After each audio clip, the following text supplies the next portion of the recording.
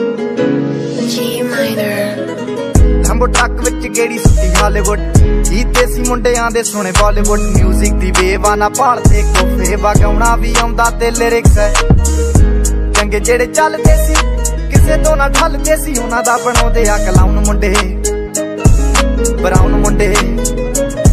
ਆਉ ਦੇਸੀ ਜੇ ਗੀਤਾ ਟਰੈਪ ਦੀ ਬੀਟਾ ਸਿਰ ਕੱਢ ਕੱਢ ਦੇ ਸਪੀਕਰਾਂ 'ਚ ਵੱਜਦੇ ਬਰਾਉਨ ਮੁੰਡੇ। ਬਰਾਉਨ ਮੁੰਡੇ